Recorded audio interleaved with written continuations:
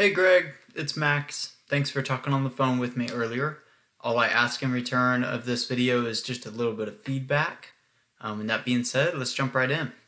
So the general gist of this video is to show you the three simple things that you can do in order to help rank your website in Google uh, for select key terms that are being searched each month. And I know that these terms are being searched every month because I use this software called Ahrefs and it shows me that there's actually 680 searches for a plumber in Glendale, California. And so with Google, typically about 10% of the search volume turn into phone calls, um, but we'll just play it safe and say that 5% do, and that's still 34 extra calls every month. Um, so that being said, I will show you the main three things. So the first thing is content on the home page. So if we just copy everything that you see here, including your images and how they're saved, and we throw it into this word counter, this is going to show us that your website has 880 words on the homepage. and Google typically wants about 1500 to 2000 words. And the reason being is Google looks at your website as a contributing factor to their platform.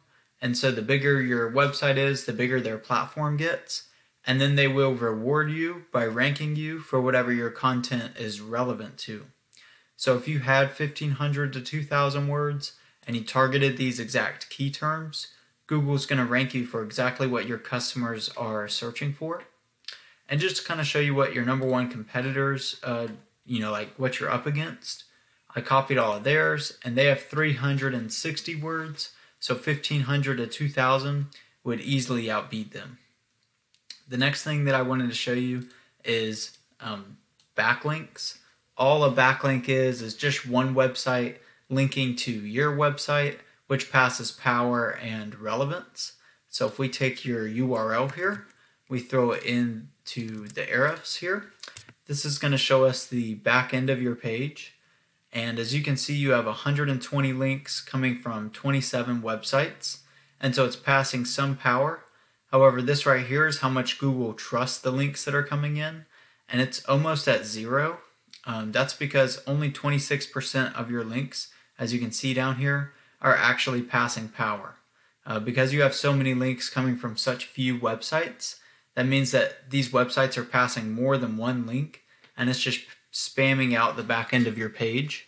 The way that you can increase this and get better uh, trust ratings here is by taking uh, your homepage link like this and putting it on really relevant sources like a plumbing blog post or other home improvement websites that have good metrics.